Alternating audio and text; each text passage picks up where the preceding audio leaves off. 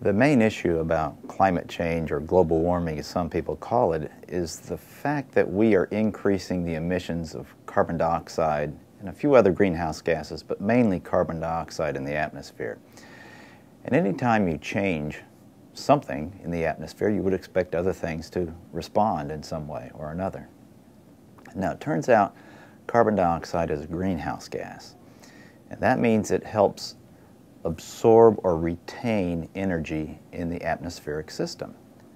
So all things being equal, you would expect that more carbon dioxide in the atmosphere would create some rise in temperature.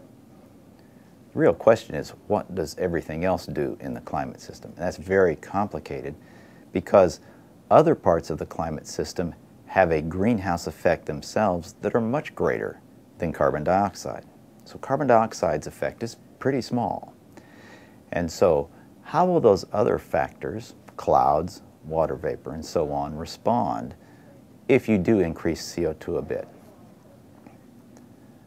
Now, carbon dioxide is kind of special.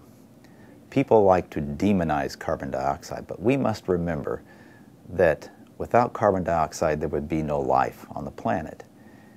I think the best definition of carbon dioxide is plant food because that is exactly what plants breathe in. If they did not have carbon dioxide, they could not survive.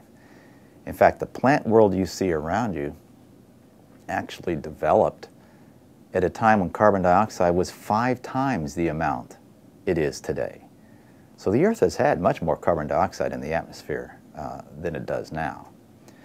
But the concern is if we do increase the levels of carbon dioxide, which is occurring, uh, then will that change the climate in some way?